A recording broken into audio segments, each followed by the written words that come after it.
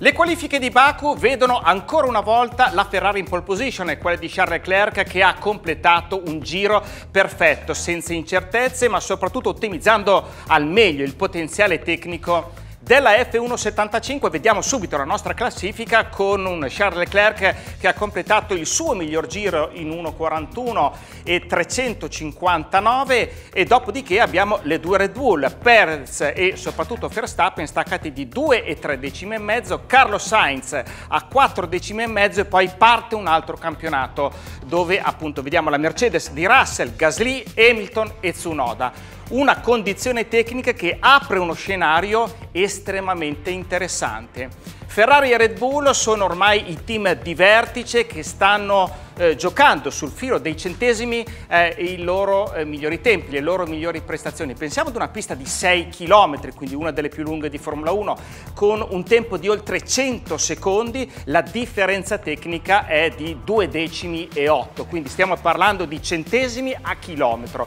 una delle eh, minori differenze tecniche che eh, abbiamo visto fino ad ora in questo campionato. Ma dobbiamo fare una valutazione estremamente interessante perché Ferrari e Red Bull si stanno cercando a livello tecnico, ovvero sia eh, le migliori soluzioni tecniche di Ferrari vengono copiate da Red Bull e quelle di, eh, della RB18 vengono replicate e copiate, ottimizzate dalla F175. Partiamo subito da quello che ha copiato Red Bull, ovvero sia la tecnologia del diffusore direttamente ancorato alla scatola del cambio. Quindi abbiamo una chiglia molto più avvolgente e questa è una soluzione che ha portato la Ferrari a Barcellona con il suo primo step evolutivo molto importante. L'esigenza di Ferrari era quella di fare più spazio sotto alla monoposto nell'area di estrazione dei flussi dal retrotreno e quindi l'unico modo era quello di creare una diffusore che copiasse esattamente la configurazione della scatola del cambio e questo ha fatto guadagnando centimetri preziosi e soprattutto ottimizzando quello che è la potenza di estrazione dell'aria dal sottovettura, massimizzando quindi la portata d'aria estratta e la capacità di effetto suolo.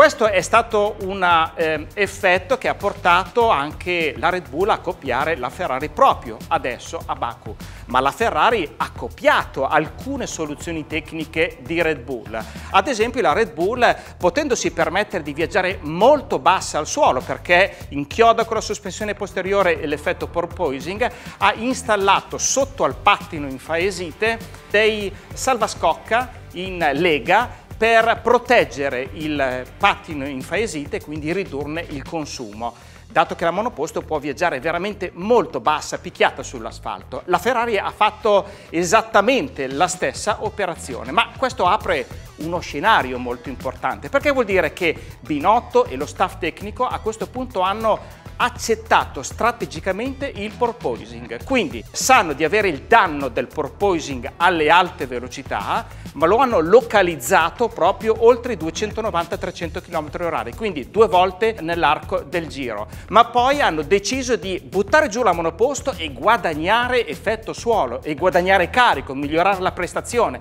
Quindi questa scelta di fatto apre uno scenario molto aggressivo da parte della Ferrari, della F175, che ha deciso deciso a questo punto di essere molto più performante e lo vediamo nei tratti misti, quelli molto guidati dove ci vuole tanto carico aerodinamico, perdere qualche chilometro orario di prestazione a causa anche del porpoising e quindi uno scenario tecnico che di fatto prefigura quello che è la linea di attacco, la strategia di attacco della F175 che probabilmente già domani in gara potremo vedere da Leclerc e Sainz.